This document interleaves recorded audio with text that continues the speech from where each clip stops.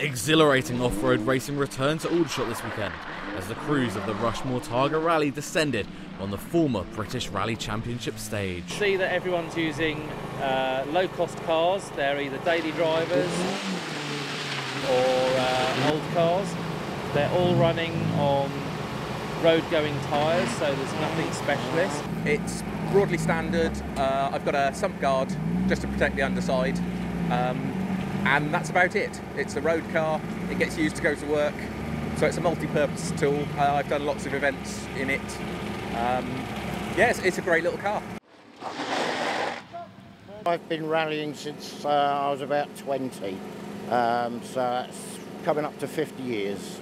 I've had the Peugeot for 20 years, and um, I've probably done a good couple of hundred. We're here at the start of the test and the red Micra, the number 24 car, is just about to go on the of the minute, and there we go.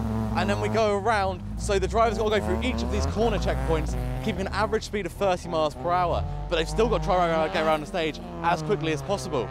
The test then finishes over here behind us after an array of cones around the complex of Rushmoor Arena, and then they head from here back to scrutineering to make sure everything is as it should be on the car. It was wet, wet and frantic. Yeah, straight into it. There's no no easiness into it there. A lot of water, surprise, surprise. But yeah, no, it was just fantastic. It's been great to welcome rallying back where it belongs here at Rushmoor Arena in an event that I have no doubt will return again this time next year. Torin Budd, Winchester News Online.